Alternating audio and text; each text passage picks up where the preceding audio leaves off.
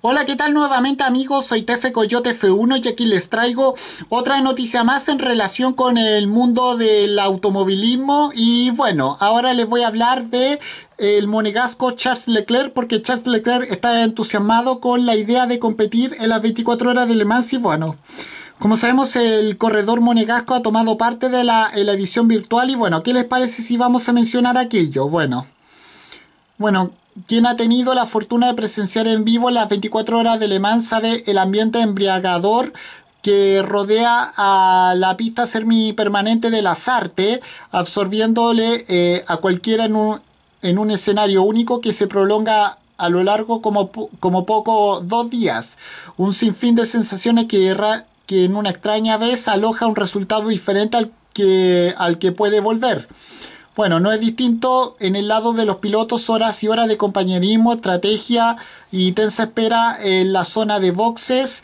que humanizan la labor de pilotos y también de los mismos compañeros, algunos acostumbrados siempre a tener el protagonismo. Bueno, quien participa en carrera resistencia se lo apunta en la agenda de volver a repetir cuando se pueda. Resulta más curioso eh, si cabe que esta sensación también queda reflejada después de una carrera virtual. Así lo ha exteriorizado el, corredor monegasco Charles Leclerc, al que entusiasma la idea de, competir en las 24 horas de Le Mans y como reveló en una entrevista concebida durante la disputa de la edición digital de esta carrera y eso que como muchos participantes vivió una montaña rusa de emociones incluyendo siempre, eh, siempre el duro eh, momento de perder las opciones por razones ajenas a cualquiera. Bueno, bueno como sabemos, el joven corredor monegasco eh, afirma que la idea ya rondaba por su cabeza antes de participar en esta edición virtual y bueno, que sea como sea, ha terminado de despejar las dudas que pudiera tener. Bueno,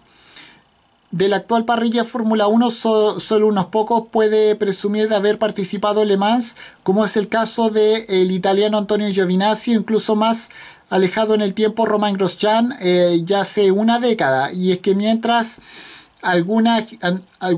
y es que mientras antiguas generaciones de pilotos habían descartado automáticamente esta opción, viéndolo como un lugar de retiro, bueno, en la actualidad está lejos de ser así. Bueno,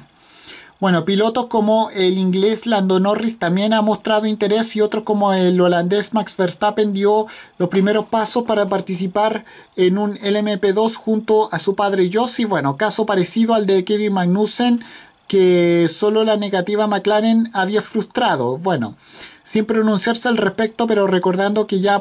ya ha participado en las 24 horas por puro placer, se encuentra el canadiense Lance Stroll. Bueno, sin duda una tendencia bienvenida para los aficionados a las, a las carreras de automovilismo y que tocará a los